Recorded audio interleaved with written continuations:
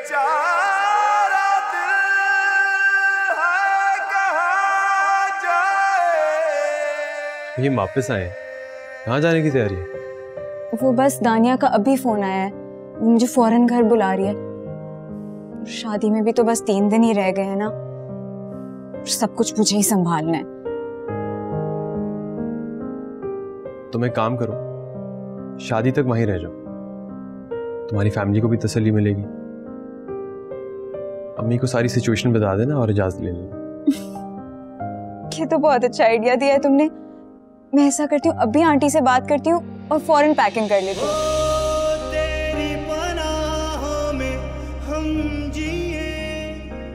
अच्छा है आशी हम कुछ दिनों के लिए एक दूसरे से अलग हो जाए। वरना तुम मेरी आँखों में झाँक कर पता नहीं कैसे मेरे दिल में छुपी उदासी को महसूस कर लेती हो। कितनी कोशिश करता हूँ। तुम्हारे साथ खुश नज़र आऊँ, लेकिन फिर भी कभी ना कभी पकड़ा जाता हूँ। पता नहीं सोबिया कैसी है, कैसे फेस कर रही है अपने हालात को। काश हदीद मुझे कभी नज़र ना आए, वरना शायद मैं अपने हवास खो बैठूँगा।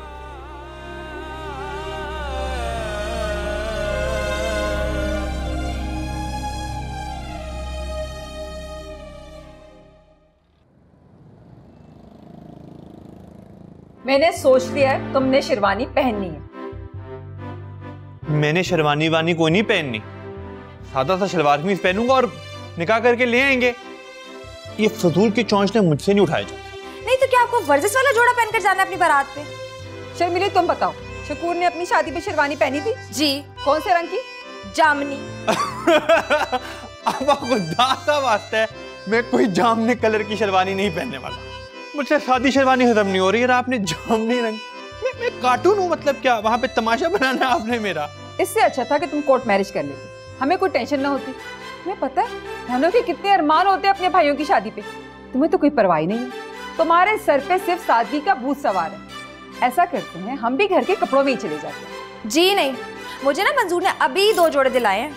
मैं कोई सादा जोड़ा भी नहीं जाऊँगी अच्छा मेरी बहन आप जीती और मैं हार गया। हम कल जाते हैं और रेडीमेड शेरवानी ले आते हैं ठीक है? लेकिन ओवर ना हो डिसेंट लेकिन एक शर्त। असर साहब की आपकी शर्त ये तो नहीं है कि अंदली बाजी भी शेरवानी पहन के जाएँगी। आइडिया अच्छा है। मुझे इतना शौक था कि मैं किसी के साथ शेरवानी पहनूं तो हम दोनों बहन भाई शादी पे भाई भाई लगेंगे।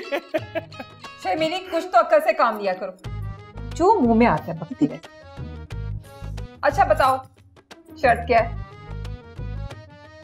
शर्त यह है कि आप कल मेरे साथ जाके हदीद के घर शादी का इनविटेशन दें। अब कार्ड तो छपे नहीं है तो जाके इनवाइट कर लेंगे। अच्छा चली जाऊँगी। बस दुआ करो उसकी बेगम घर पे ना हो। आमीन। मैं तो हर नमाज़ के बाद दुआ करता हूँ। घर से बाहर अचल कुर्सी पढ़ के भी जाता हूँ कि कहीं उसकी बीवी से मेरा आमना सामना ना हो जाए। इतने नखरे वाली और मुफट बीवी। तो भाई। हिम्मत है बेचारी। सूखे कांटा हो गया। तुम क्या खड़ी हुई हो यहाँ पे? कोई काम नहीं है तुम्हारा? किचन में जाओ जाके शकूर की कोई मदद करो। हाँ है।